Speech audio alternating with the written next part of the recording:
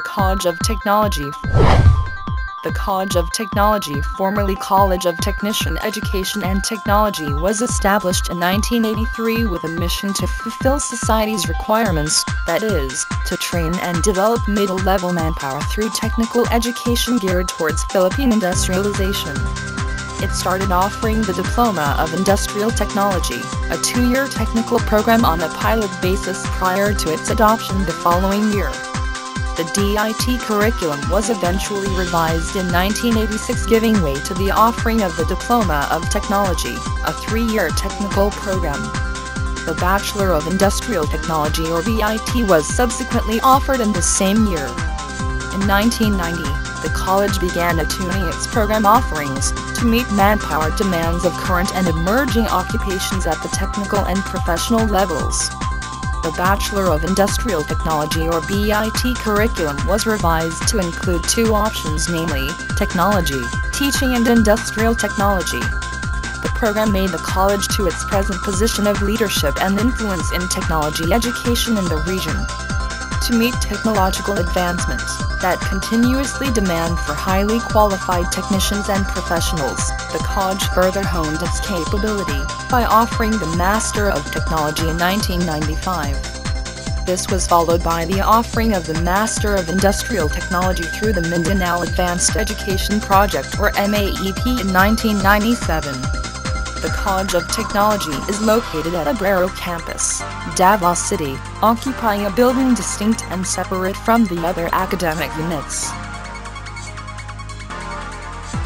Bachelor of Industrial Technology The program Bachelor of Industrial Technology or BIT includes both management and technology subjects. The technology subject includes study of technology principles, as they are applied in variety of tasks servicing, troubleshooting, rebuilding component items, and the like. This is a ladderized program, the first two years and the technology component in the third year being the same with Diploma of Technology. BIT Objectives Bachelor of Industrial Technology has five objectives apply ICT knowledge and skills to meet the demands of business and industry. Work effectively with positive work ethics and a team environment for good customer service. Adopt technological change through continuous personal, career and professional development. Enhance good relationship with their institutions and agencies to promote linkages in terms of IT advancements. Innovate products and processes through research and development. BIT is TESDA registered and accredited level 3 by AACCUP.